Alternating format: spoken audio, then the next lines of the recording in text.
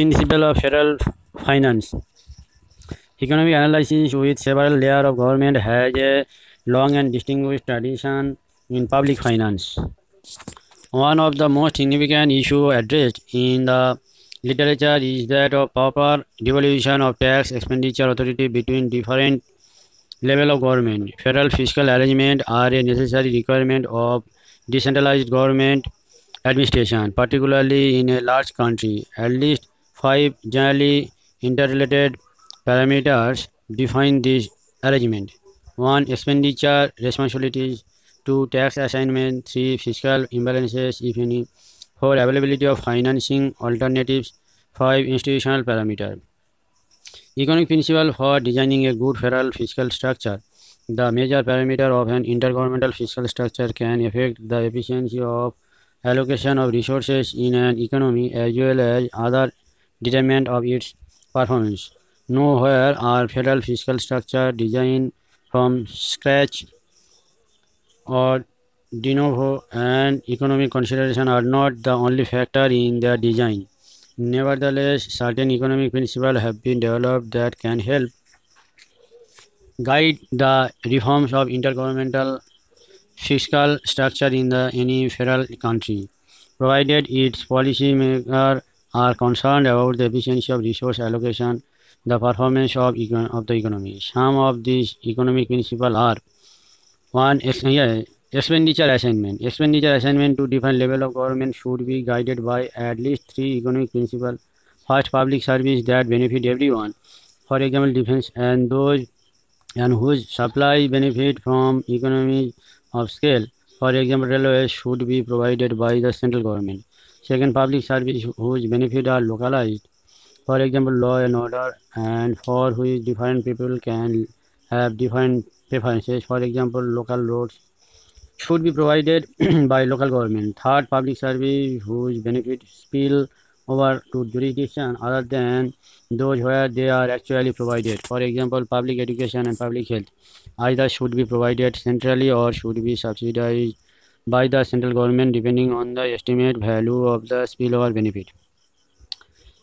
To tax assignment. Tax assignment to different level of government could be guided by at least three basic principles. First, tax that are levied on a relatively mobile factor of the production, for example, labor and capital. B. At progressive rate, for example, personal income. C. Cyclical sensitive tax base, for example, personal income and corporate profits. And D. Tax based that are even unevenly distributed among jurisdictions, for example, natural resources, should all be assigned to the central government. Second, taxes that are levied on immobile tax base, for example, land and property, and whose burden is not exportable to other jurisdictions should be assigned to local government.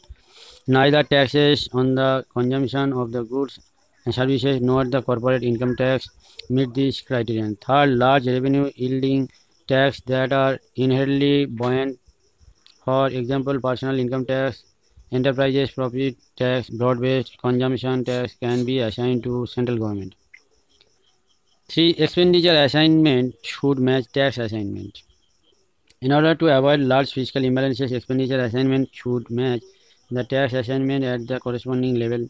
If they are unmatched and lower level government are likely to face chronic fiscal deficit, piggybacking of the more elastic taxes of central government, for example, of income taxes and or value-added taxes or of overlapping assignment in taxes should be allowed if despite this strategy fiscal imbalances continue or lower level of assignment alternative financing method may have to be considered.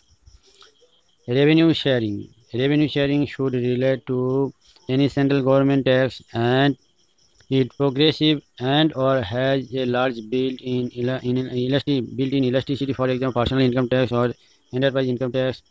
B is less discretionary and is a large revenue source for example value-added tax or excise duty. No economic principle exists that can help decide the exact proportion of the revenue of these taxes to be transferred to revenue sharing pool. Whatever the size of the pool among different lower level government can be guided by either the needs principle or the derivation principle. Tax effort made by the lower level government could be added as yet another factor is design the revenue distribution formula. formula. Fiscal capacity and fiscal needs of each jurisdiction must be estimated with a clear, quantifiable and transparent formula as far as possible. The foreign principles are primarily derived from economic consideration. However, federal fiscal relations in no country of the world are based upon economic consideration alone.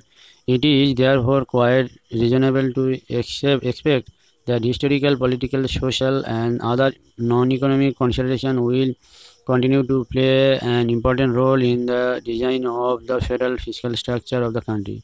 Federal fiscal relation in every country of the world will continue to remain prisoner of history, tradition, institution, and politics. What can be expected at best is only an incremental change from present reality rather than a very profound and fundamental change.